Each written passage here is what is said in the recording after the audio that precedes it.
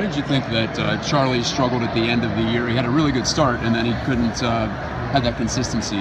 Well, you know, we are humans, man. We're gonna make mistakes. Sometimes we uh, we need some kind of mistakes to to get better. Get better. I think he's the best uh, sinker guy I ever caught in my life. And I, I, used to tell him all the time, it's, it's impressive, man. It's impressive the talent that he got. And um, he started really good, and then, you know, was some up and downs, but but he he he gave us everything he had.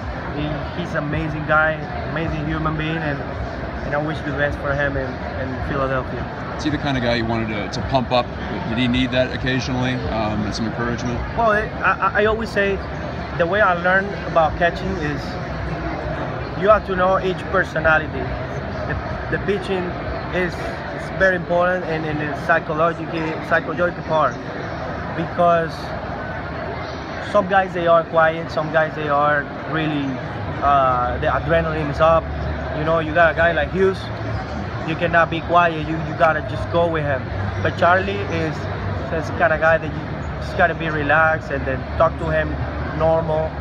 And um, I spent the whole season trying to figure out each guy.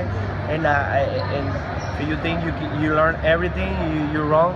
I got still try to find little things about everybody because it's important for, for a catcher. But Charlie is the kind of guy that that is going to be quiet. He's going to give you. Sometimes you you don't know. He throw eight innings in one hours and 45 minutes, and he wins the game, and you don't know because it's quiet. He just come there, ground ball, ground ball, ball, and that's it.